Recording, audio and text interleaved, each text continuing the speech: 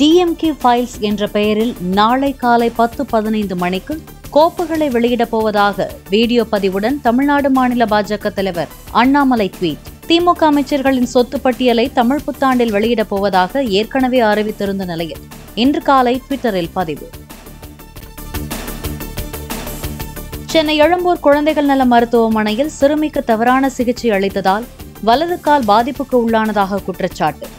தவறான சிகிச்சை அளித்த அரசு மருத்துவர்கள் மீது நடவடிக்கை எடுக்க கோரி தலைமைச் செயலகம் அருகே தலைமை காவலர் போராட்டம். நாடு முழுவதும் எழுபத்து ஓராயிரம் பேருக்கு மத்திய அரசு துறைகளில் பணி. டெல்லியிலிருந்து காணொலி மூலம் பணி நியமன ஆணைகளை வழங்கினார் பிரதமர் மோடி. தமிழக சட்டப்பேரவைக்கு எதிர்க்கட்சித் தலைவர் எடப்பாடி பழனிசாமி உள்ளிட்ட அதிமுக எம்எல்ஏக்கள் அனைவரும் கருப்பு நிற மாஸ்க் அணிந்து வருகை. மக்கள் பிரச்சினை குறித்து எதிர்க்கட்சியினர் பேசுகையில் சட்டப்பேரவை நேரலை துண்டிக்கப்படுவதற்கு எதிர்ப்பு. சட்டப்பேரவைக்கு வந்த அதிமுக எம்எல்ஏக்கள் கருப்பு மாஸ்க் அணிவது குறித்த அமைச்சரின் பேச்சை அவை குறிப்பிலிருந்து நீக்க கோரிக்கை. அதிமுக கொறடா எஸ்பி வேலுமணியின் கோரிக்கையை ஏற்பதாக சபாநாயகர் அறிவிப்பு. நாங்கள் எங்களது உரிமை பறிக்கப்படுகிறது பல பிரச்சனைக்காக மக்கள் பிரச்சனைக்காக நாங்கள் வந்து இந்த கருப்பு மாஸ்க் அணிஞ்சிட்டு வர்றோம்.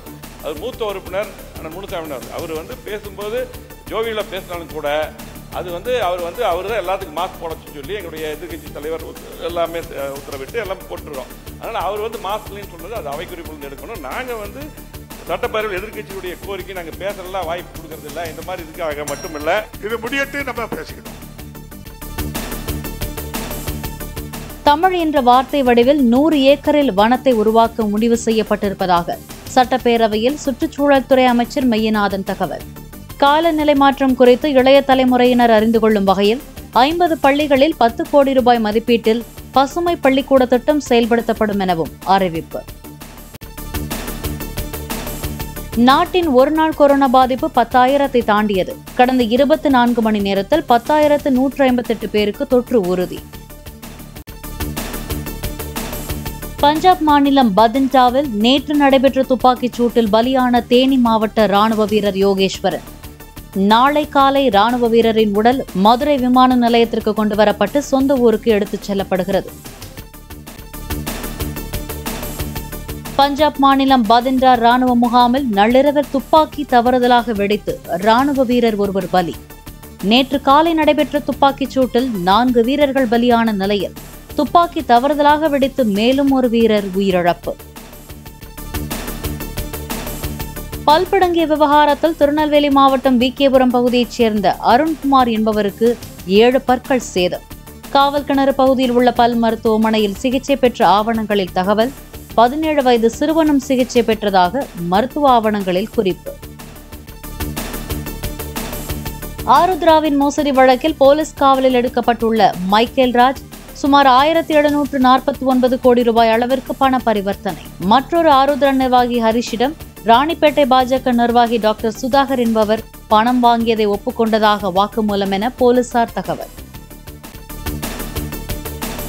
ஆருத்ரா கோல்ட் நிதி நிறுவனத்தில் பணத்தை இழந்ததாக கூறியபடி சென்னை கமலாலயத்திற்கு வந்த காஞ்சிபுரம் மாவட்டத்தைச் சேர்ந்தவர்கள் திடீர் முழக்கம்.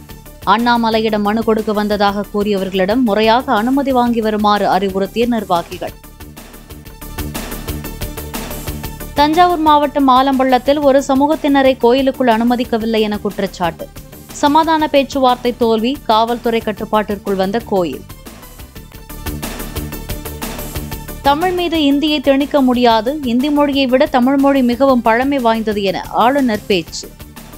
பனாரஸ் இந்து பல்கலைக்கழக மாணவர்களுடனான தமிழ் தர்ஷன் கலந்துரையாடலில் சமஸ்கிருதம் மட்டுமே தமிழுக்கு நிகரான பழமை வாய்ந்த மொழி எனவும் ஆளுநர் ரவி பேச்சு. மதுரையில் இரண்டாயிரத்து இருபத்தி ஓராம் ஆண்டு வழிப்பறி வழக்கில் சஸ்பெண்ட் செய்யப்பட்டு ஜாமீனில் இருந்த பெண் காவல் ஆய்வாளர் வசந்தி டிஸ்மிஸ். வழிப்பறி வழக்கின் சாட்சியை மிரட்டிய வழக்கில் மீண்டும் கைதான நிலையில் பணி நீக்கம் செய்து மதுரை டிஐஜி நடவடிக்கை.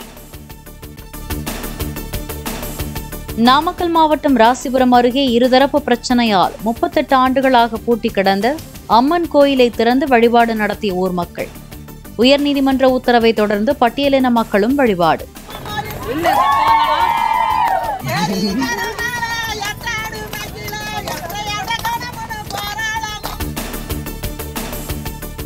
தமிழக சட்டப்பேரவையில் இன்று காலை கேள்வி நேரத்தின் போது அமைச்சர் கே என் நேரு அளித்த பதிலை கவனிக்காமல் பேசிக் கொண்டிருந்த திமுக எம்எல்ஏக்கள் சட்டப்பேரவை கேளிக்கை விடுதி கிடையாது என்றும் கேள்வி மற்றும் பதில் குறித்து உறுப்பினர்கள் கவனிக்க வேண்டும் என்றும் சபாநாயகர் அப்பாவு கண்டிப்பு.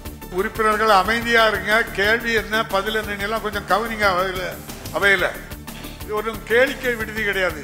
இது சட்டமன்றம். யார் என்ன பேசா என்னங்கிறத கவனிக்கக்கூடிய இடம் இது. பார்த்துக்கிடுங்க. ரஷ்ய தூதரகத்தைச் சேர்ந்த பதினைந்து அதிகாரிகள் நார்வே நாட்டிலிருந்து வெளியேற்றம். ஓஸ்லோவில் உள்ள தூதரகத்திலிருந்து உளவு வேலை பார்த்ததாக குற்றம் சாட்டி நடவடிக்கை.